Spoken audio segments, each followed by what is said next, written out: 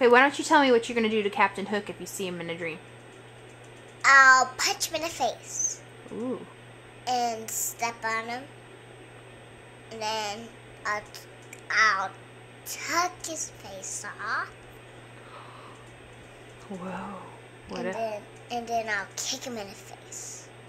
Wow, what else? And then and then I'll let Bubby um put uh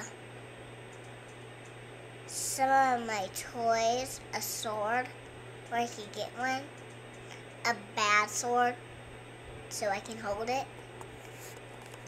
He can go get it from me, and I'll say, "Hiya!" what else are you gonna do to him? I would poke him in the face with the sword. And then uh, he'll have a lot of blood on him. Ooh. And then What? I would touch him. what? And then there was a huge spider. and then what happened? It bit me.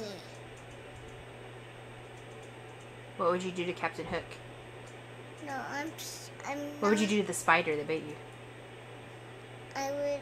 Uh, let's stop talking about Captain Hook. Okay. Is he gonna think about me? No, Where's he at?